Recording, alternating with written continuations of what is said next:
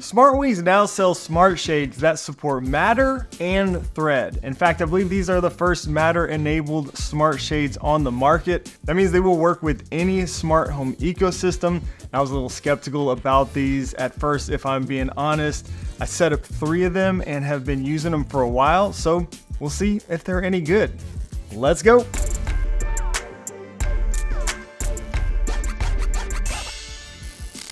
Yo, what's up guys? Welcome back. My name is Shane and this channel is all about building an easy Apple home smart home with new videos and live streams published every week.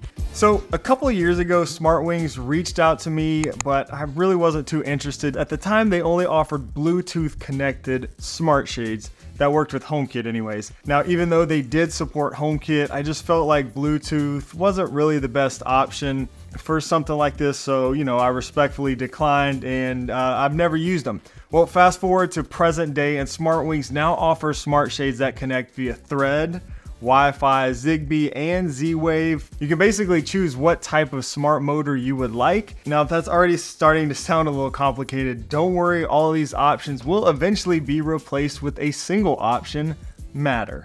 And that's what we have here today. SmartWings has said that, quote, in the near future, all SmartWings products will be launched in the Matter version, ensuring compatibility with all smart devices in your home for a seamless integration of your shades. I was excited to try these out as these are the first Matter shades that I've had the opportunity to use. And again, I think these are the first available on the market as well that support Matter. Now, if you're not really sure what Matter even means, essentially that's just the newest smart home protocol or smart home standard that has compatibility with all of the major ecosystems, including Apple Home, Google Home, Amazon, SmartThings, and more. Now, I actually didn't have anywhere to put put these in my house, so I went to a friend's house in my neighborhood. He's been needing some new shades for his daughter's room, and I thought this would be the perfect solution for him as he's recently begun building an Apple Home smart home himself. And thanks to Matter, we know that these will work with his current setup and will even work if he changes his mind, you know, down the road and wants to use some different ecosystem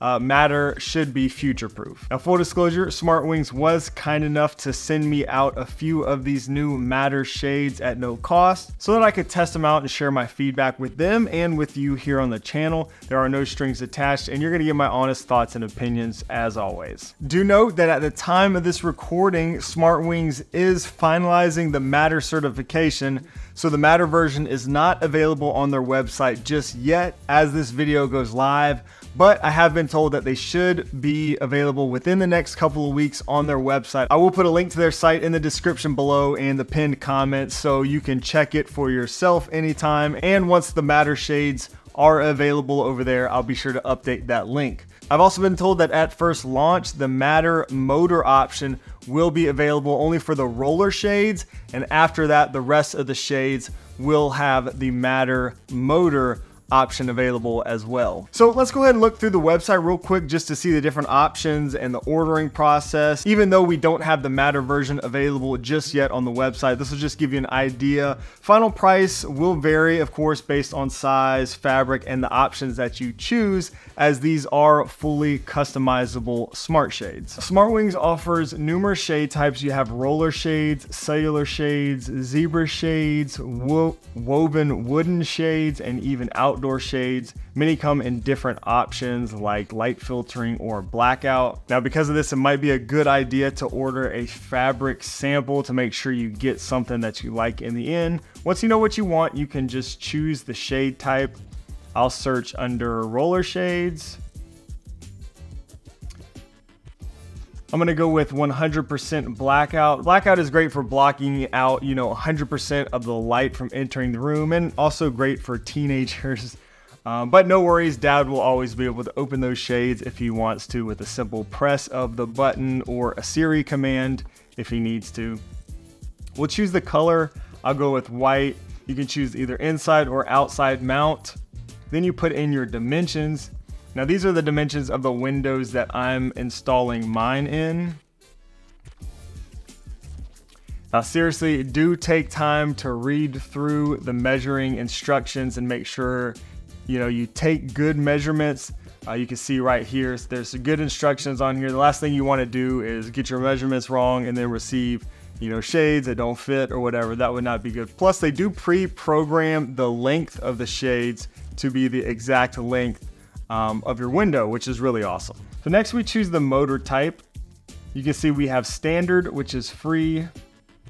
You have Alexa version, Zigbee, Z-Wave, and even HomeKit over Thread. You see the price will vary slightly depending on the option. You can then choose a valance type if you want one. They have two options, each for an additional $20. I went with the square option. I think this one looks, you know, super clean, especially for these inside mount windows.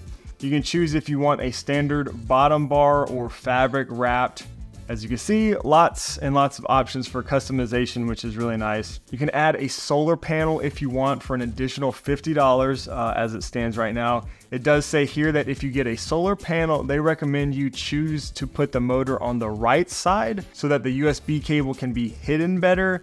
So I actually missed, missed that instruction. I missed that little bit when I was doing my order initially. So I ordered my shades with the motor on the left you know, live and learn. I'll make the mistake so you don't have to. You can also order a five channel remote, a 15 channel remote, or a five channel dial. I did get the five channel remote that can control up to five separate shades uh, with this single remote.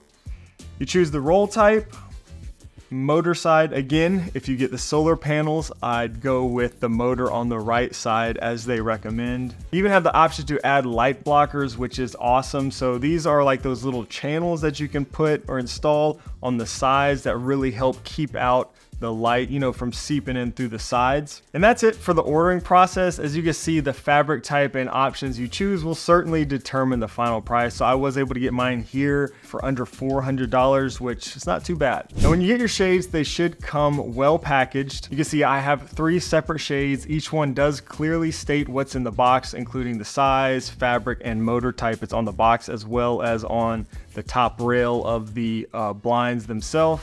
Inside you get your Matter starting guide, a remote if you ordered one, a USB-C to USB-A charging cable, installation hardware, a solar panel if you ordered one, and the actual shades. And that is everything that's in the box. Now, I've installed a number of blinds and smart shades, and I must say that these here are some of the easiest that I have ever installed. So his daughter has three side-by-side -side windows and I knew that these white shades would really look great here in this room. Again, these are inside mount, so I started attaching the brackets on the top of the window. The one thing that I did notice is that the screws seem to be a little bit small, especially for mounting, you know, from the bottom up like this. It's probably fine, but I went ahead and replaced a few of the screws with some larger wood screws that I was able to get and fit in there for just a little extra security. But once the brackets are in place, you can just snap the shades onto the brackets. Really, really easy installation. What I did was plug in each shade via the USB cable so that they could charge a little bit first I set up each one in the home app before attaching the solar panels, and there's a reason for that. So this could certainly change as the product gets out of beta, you know, and starts shipping to consumers. But for me, I could only find one instance of the Matter QR code for each shade, and that is at the top of the shade. Not a very good place for the QR code, so that's why I didn't want to go ahead and mount the solar panels and all that stuff and get everything in place before actually pairing them in the Apple Home app, so I wanted to do that first. Another thing I noticed is that the QR code did not have the numerical code included on that, which is something you usually see. So this made me a little nervous because if you couldn't scan that QR code for some reason, you're just out of luck. So you won't be able to pair any of your shades in any smart home ecosystem if you can't scan that code uh, with no numbers or anything. Again, a little strange. Usually you also see a little numerical number with your Matter QR code on there. So I do highly recommend taking a photo of your code and storing it somewhere for backup just in case this ever gets messed up and you can't scan it. Anyways, to pair it, you need to hold down the button for a few seconds until the status LED flashes red and you'll see the shades move a little bit a couple times then scan your code. So I actually did have a hard time scanning the code in the home app because it just didn't, it wasn't printed very well on the sticker. And again, this here did make me a little nervous because there was no numerical code on it. But I was actually able to scan it using the native camera app and tapping open in the home app. So if you didn't know about this, you can actually use the regular camera on any phone to scan a Matter QR code and you'll be prompted to add the device in the native smart home platform for that phone in this case an iPhone, therefore the Apple Home app. Little pro tip there for you in case you didn't know. Anyways, then you can move through the prompts to add it to your smart home just like any Apple Home product. I do get the message saying that this is an uncertified device. Again, this is because I've been using these for a while before they gained official Matter certification. And I'm happy to report that all three of these shades did pair right up to the Apple Home app on the first attempt for each one. Zero issues there, which is great. I put them all back up and tested them real quick in the home app. Then it was time to install the solar panels. I attached the solar panels using the included 3M sticky tape. You can see here, it would have been better if I got shades with the motor on the right side, uh, as it was suggested. It would have been easier to hide that little USB cable like they recommended, but I did hide it the best I could, and I think it came out okay. The back side of the solar panel is kind of ugly, um, a big dark spot right there in the middle of the window. So I mounted it up as high as I could on the window, but you could still see it. So I just adjusted the max open position for the shades so that when I fully open them, that solar panel is hidden. So I can open them to 100% and uh, it'll be hidden because I adjusted that max open position right there. So the solar panels actually seem to be working quite well. After at least a month of usage, the battery on each shade is reading from 97 to 100%. We were actually a little worried about that since these windows really don't see much direct sunlight at all throughout the day, but it does seem to be getting enough to keep them charged which is awesome. Now, if you aren't using solar panels, SmartWings say the battery generally should last about 600 up and down cycles. So I guess that just depends on how often you're using the shades. Also, the model and size and weight of your shades will play a role in the battery life which is to be expected. The motor and the battery both have integrated overcharge protection circuits, so that means you can't overcharge them and won't have any issues with that.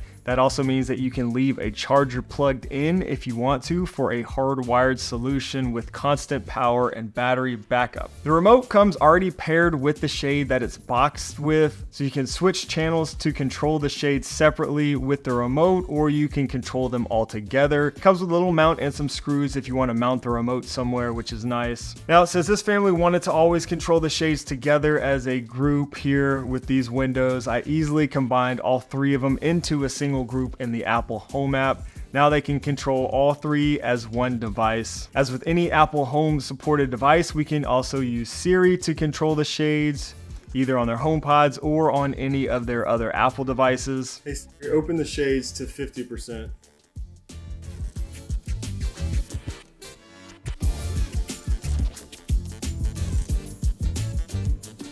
Hey, close Avery's shades.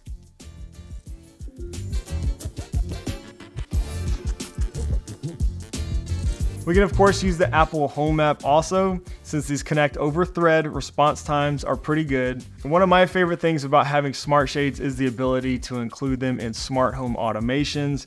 For example, we can have these open with the sunrise, close with the sunset, or you can have them close when everybody leaves the house. Stuff like that, all that can be configured right there in the Apple Home app. All right, so regarding the sound levels, I'm gonna do a quick noise test for you here and nothing super technical. I'll just be using a little sound meter uh, app on my phone, but it should give you a good idea. Now there's actually three different speed settings you can change these to. There's standard, there's a slower speed, and a faster speed. Each speed will change how loud the motor actually is. And since there's no manufacturer's app with these, there is a way to adjust the speed here. If you remove the cover on the remote, there's a little button on the back right here. If you press that, you'll be able to put the shades in the speed adjustment setting. So I'm gonna go ahead and try that now.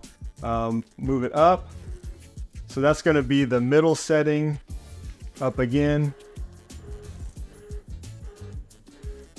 When they jog three times like that, that's the fast setting. If I go down, so you can see these are actually faster now.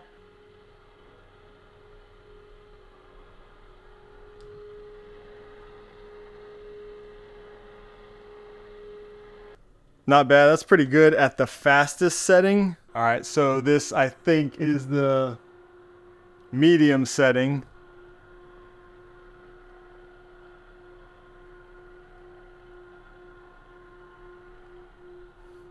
All right, and this here is the slow setting.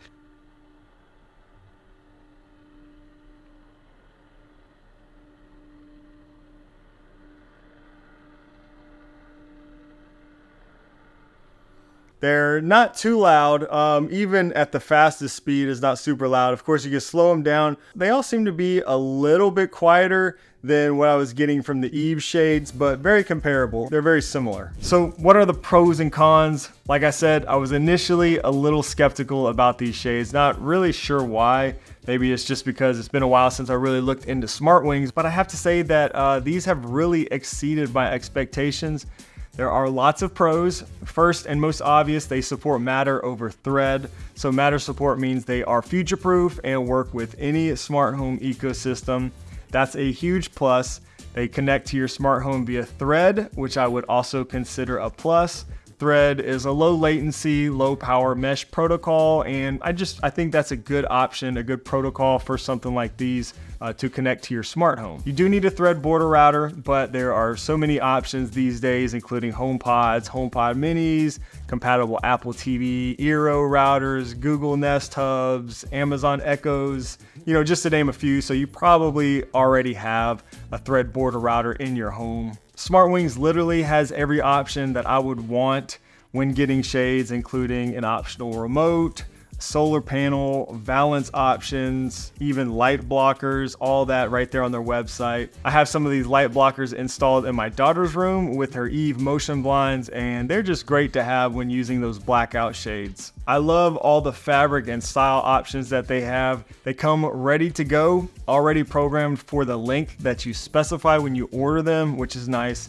Installation again is one of the easiest that I've seen or that I've done personally for smart shades. Setup in the Apple Home app was also really easy and worked right away. Even though I did have an early version of them, it still worked and they worked well in the Apple Home app. Um, and through automations and everything like that ever since installation. The remote and solar panel options are fantastic. With those solar panels, we never have to worry about charging them. There really isn't much I can find to say that isn't good, to be honest. One thing I guess to note is that little bit about the Matter QR code, having the only instance on the top of the shade and not having the numerical code included is not good. That's something that they can easily fix, you know, and there's a good chance maybe they've already fixed that, you know, once these start shipping to consumers again. I got these early before they were even shipping them. So, you know, either way, I highly recommend saving a copy of that Matter QR code for future use in case you ever need it. A price I found to be very reasonable. I'd consider these like a mid-tier kind of smart shade. You can get something quite a bit more expensive like Lutron Serena shades, and then you can even get something cheaper like, you know, IKEA shades or something like that. All will work with HomeKit.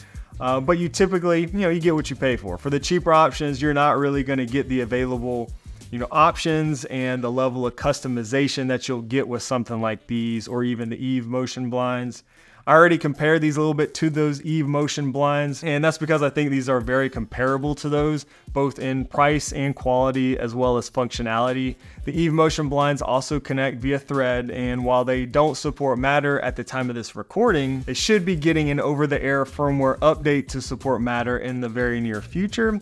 I do like that the Eve blinds have the little pull cord on them. Smart Wings don't have that but you do get the remote and other numerous ways to control them, so you know, that's probably not a huge deal. I'd say that these shades are a great option at a very good, reasonable, competitive price for your Apple smart home, or for any smart home for that matter.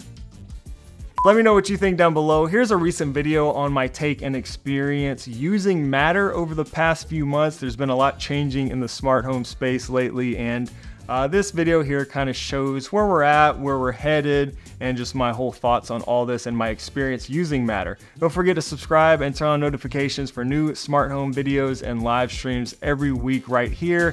Thanks so much for watching, and I will see you in the next video.